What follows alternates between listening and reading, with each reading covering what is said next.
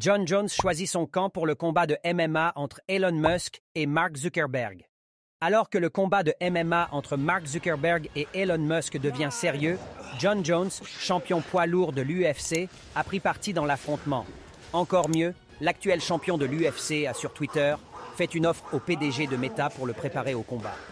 Vous savez déjà que je suis Team Zuck. Fais-moi signe si tu as besoin d'un partenaire d'entraînement.